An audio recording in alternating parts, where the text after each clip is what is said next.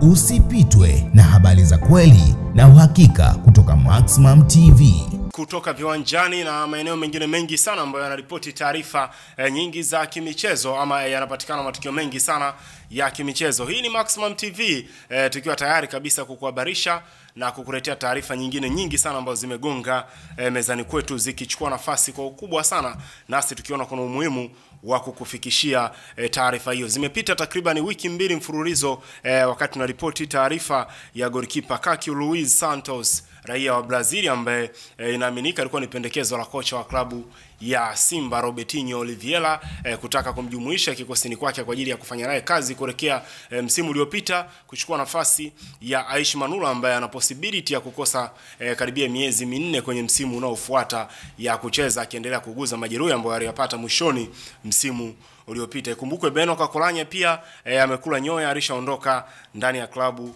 ya Simba hivyo e, Simba wako mbioni kusaka sign ya golikipa bora na lilitajwa jina la Brazil hapo e, Ruiz Santos e, Calcio ambaye ilikuwa inaaminika tayari mazungumzo eh, ya mdomo baina yake na klabu ya Simba yamefikia patamu. Kilichokuwa kimesalia ni yeye kuja Dar es Salaam eh, kujiunga na timu hiyo. Taarifa zilizotoka before ilikuwa ni kwamba mchezaji huyo angejiunga na timu hiyo kabla ya kambi eh, ya, kabla ya timu hiyo kusafiri kwenda kuweka kambi Uturuki, lakini muda huu tunazungumza tayari timu hiyo iko nchini Uturuki ikiendelea eh, na kambi yake ambayo anaiweka kwa ajili ya maandalizi ya msimu ujao. Sasa taarifa tuliyopata bwana ni hii hapa eh, viongozi wa Simba eh, wameamua kupiga stop eh, kwa muda usajili wa golikipa Brazil Kaki Luis eh, Santos baada ya kugundua kipa huyo anazungumza Kireno eh, Kireno kwa sana kuliko lugha yoyote na hata Kiingereza ni changamoto kwake. E, hivyo hiyo inaweza kuwa isiwe isilete hali nzuri kutokana na eneo ambalo analicheza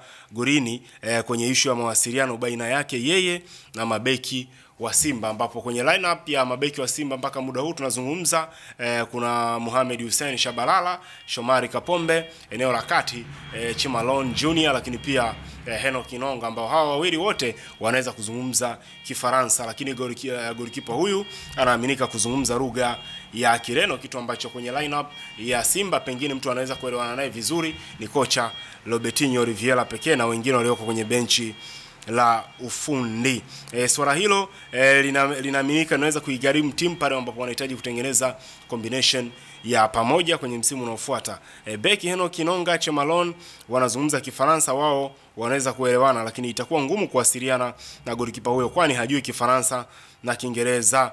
E, Kiingereza ndo kwanza anajifunza kwa kuungaunga. Hata hivyo e, huo sio mwisho wa Simba e, na Kalki kwani wamesha e, wameshakamilisha usajili huo kwa muda mrefu, wameusimamisha usajili huo kwa muda na kuingia sokoni tena kutafuta kipa ambaye atakuwa walau anaweza kuzungumza Kifaransa au Kiingereza, na baadhi ya rada za Simba e, zimenasa Cameroon e, kwenye klabu ya Cartons eh, wakihitaji sign ya goalkeeper ambaye baadaye nitakuletea profile yake hapa eh, ili uweze kumjua ni yupi huyo eh, ambaye anahitajika tena kwa wekundu wa Msimbazi. Simba ikitajwa kwa huyo wa sasa eh, raia wa Brazil ambaye alikuwa akikitaja eh, hali imekuwa tete kutokana na lugha ambayo anaizungumza, lakini pia eh, zimebuka taarifa nyingi za tetesi hapa ambazo zinaweza kufikishia ni kwamba eh, klabu ya Yanga rasmi imemtoa kwa mkopo beki wake David Bryson eh, kwenda kwenye klabu ya JKT ACT ambayo imepanda daraja msimu huu, hivyo David Bryson hatakuwa sehemu ya kikosi cha Young Africans kuelekea msimu unaofuata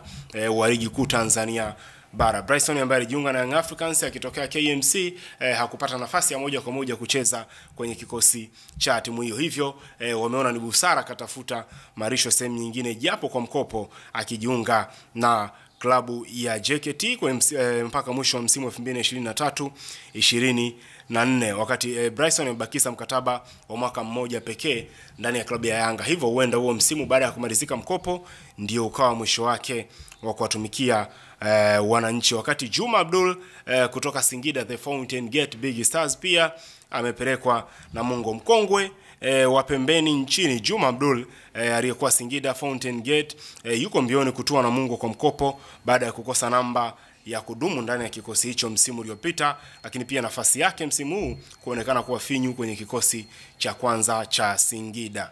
Abduli aliyewahi kuwika e, na Mtibwa Sugar, Yanga na Taifa Stars ni miongoni mwa mabeki wazao wenye uwezo mkubwa sana uwanjani, lakini hakuwa na msimu mzuri ndani ya Singida, hivyo e, atalazimika kuungana na wenzake wengine wengi wenye mikataba ya kutolewa kwa mkopo eh, kwa timu nyingine. Wakati eh, mabao eh, mashine ya mabao kutoka Zanzibar ah, anaitwa Yasin Mohamed Ngaza eh, ame, ame, yuko mbioni pia kutoka kwenye klabu ya Dodoma Jiji ambao pia wanamhitaji kuelekea msimu ujao wa ligi kuu Tanzania bara. Eh, lakini pia wakati huo ni wakati ambao Young Africans wametuma ofa tena eh, kumuinda beki wa ASEC Mimosa ambaye pia taarifa yake nitakuletea hapo baadaye mara nitakapozipata taarifa zilizokamilika eh, kuhusiana na beki huyo eh, ambaye alikuwa anatajwa mara nyingi kuja kujingwa na miamba hiyo. Kuhusu Bryson, wadau wamefunguka lipi e, ama kipi ambacho wamekiongea? E, huyu ni Madam Ria anauliza kwani ngushi vipi?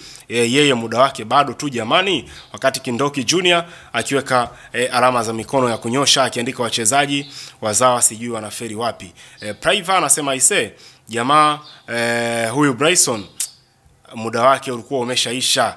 Eh, huyu Yanga in Brady akiweka emoji za kucheka. Eh, Big Dalali anasema hayo madeni hayo, wakati Maxa eh, yeye akiandika thank you. Eh, huku Longiro anasema nasikia Ranga Chivaviro eh, atakuja kucheza na Yanga, huku Zungu Mgaya anasema achapwe na viboko kwa kushindwa kuonyesha kiwango kizuri.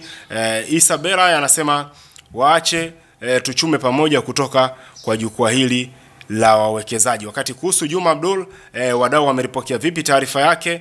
E, wapo ambao wameandika uh, kweli ni bonge moja la beki ila muda umeenda. Wakati huyu e, Priva akiandika sio mbaya, kasugua sana benchi Singida, mwache ende na Mungu. Yanga Mbadi anasema umri ushaenda sana kwake, wakati Maxa yeye akisema hivi bado yupo huyu jamaa e, wakati e, Big Dalali anasema kumekucha, kumekucha.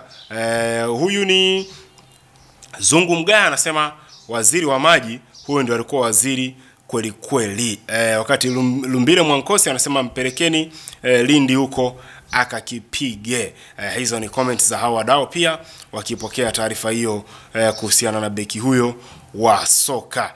E, Peace Kala anasema e, ni mapema tu, acha akacheze huko. Lakini e, sisi wanayanga tunamkumbuka kwa nyakati zote ambazo alihudumu kwa upande wetu. Juma Abdul alikuwa mmoja kati ya wachezaji wazuri sana, hivyo e, tunamtakia kila la heri huko, si, uh, huko ambako Singida wanampeleka kwa mkopo e, kwa maana ya Namungo FC.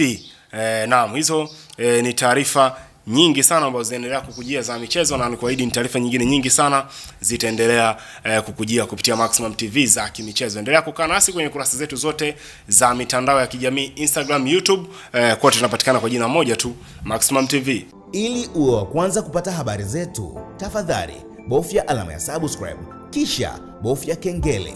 Maximum TV.